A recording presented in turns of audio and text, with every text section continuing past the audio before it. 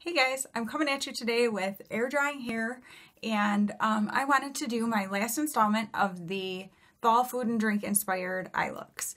Um, I'm just getting ready today to take two of my sons for sports physicals for school and um, it is two days before Thanksgiving. It obviously won't be when you see this.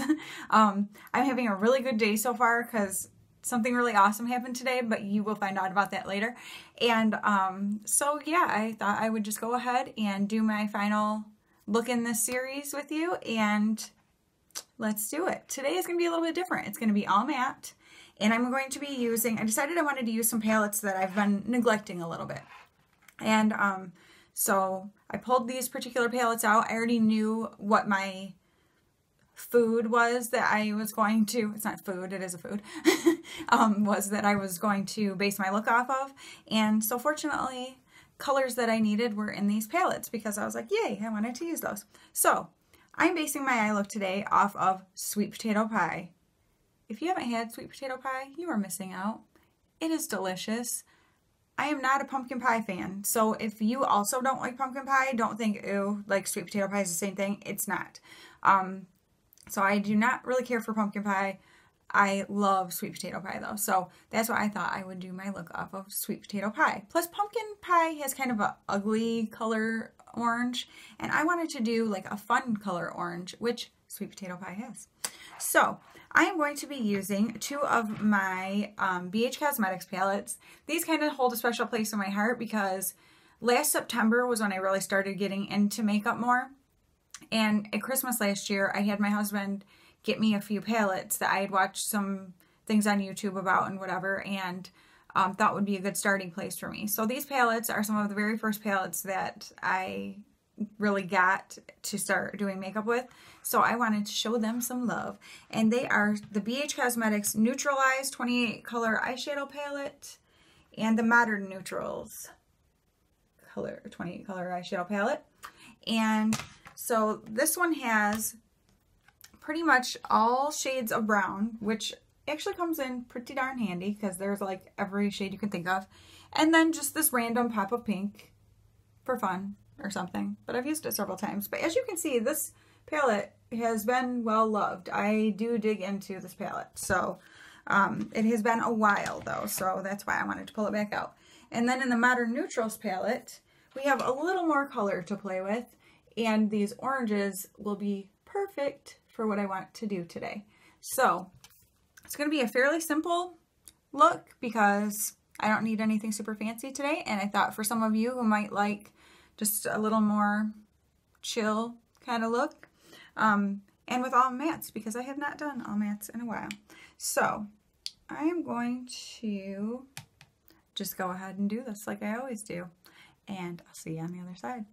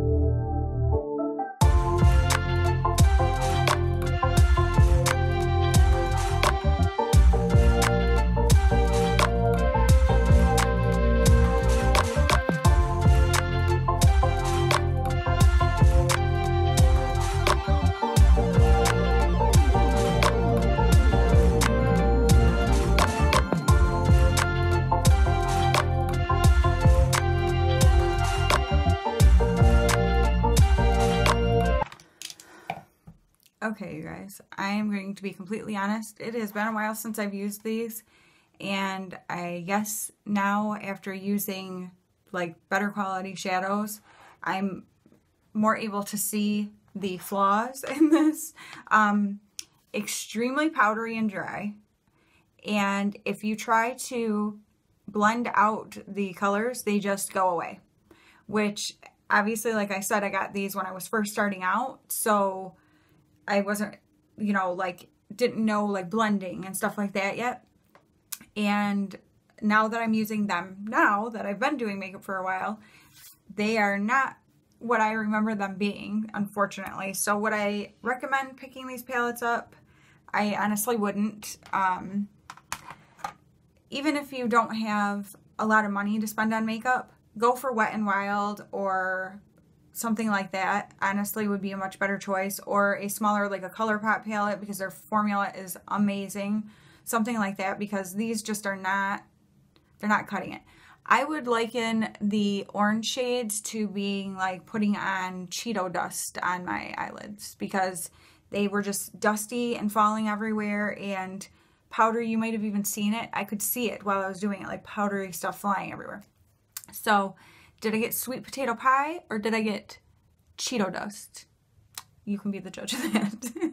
um, but I'm going to go ahead and finish the rest of my makeup, do my hair, get dressed, and I will be back to show you the finished look. Well, unfortunately, the look did not turn out as I had hoped, but you still get the main gist of what I was trying to do with the whole, um, you know, sweet potato pie themed look. So this is what the final look ended up like. I went ahead and added just a thin line of black um, liquid liner on my upper lash line, which I am terrible at, which you can probably see. So that's something I definitely need to keep working on.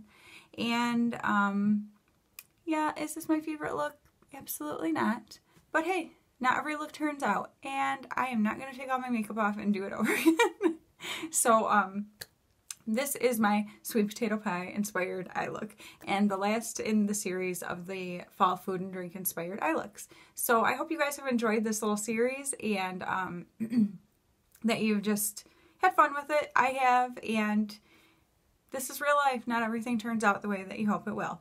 So I guess two things that you can get from this are one, try new things, try out different, you can totally do this type of a look with a different brand of eyeshadow, um, which I probably will because I do like it. It's just the actual shadows themselves were not great. And number two, do not purchase those BH Cosmetics palettes. Very dry, very, like tons of kick up and fallout and like they're just kind of a mess. And I don't think that they will last on my lids very long. So that will be the test. I'll put it um, in the description box or in the video here or something, let you know if they faded really fast or not, but I have a feeling they're going to.